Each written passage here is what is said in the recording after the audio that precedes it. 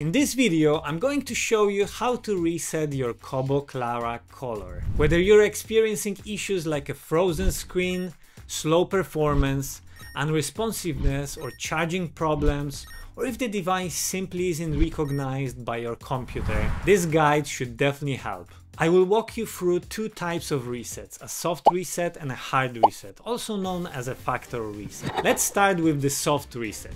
Press and hold the power button until you see the words powered off on the screen and the powered light turns off. Once the power light is off, release the power button. Now press and hold the power button again until the power light blinks rapidly. When the blinking stops, release the button. Wait for the loading screen to appear and give it 2 to 3 minutes. The device should wake up and take you back to the home screen. If the soft reset doesn't work, try doing the same steps while the device is plugged into a charger. Sometimes low battery can cause issues and charging it during the soft reset may definitely help. If the soft reset didn't resolve your issue, it's time to try the hard reset, also known as a factory reset. Keep in mind this will erase all your books and settings, so make sure you've backed up anything important.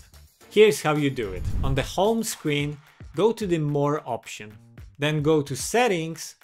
From there, navigate to Device Information. Select Factory Reset your e-reader and confirm that all data will be removed. Tap reset now and allow the device for a few minutes to be wiped and restored to its original state. Once the reset is complete, your Kobo Clara will be just like it was when you first bought it. If neither the soft reset nor the hard reset solves your issues, try charging your device for 30 to 40 minutes and see if it powers on. If your Kobo Clara hasn't been used in a while, it may need just that extra charge to get it going again. Another step you can take is to connect your e-reader to your computer. If your computer recognizes the Kobo, but the screen isn't responding, it could indicate a hardware issue, a possible issue with the screen itself. Finally, if your Kobo Clara color is still under warranty and none of these solutions have worked for you, it may be best to contact Kobo's support. They may be able to explore some options like repair or replacement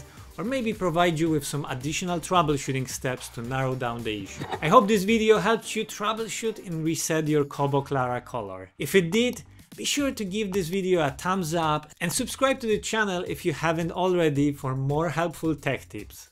Thanks for watching and happy reading everyone. I will talk to you next one. Bye!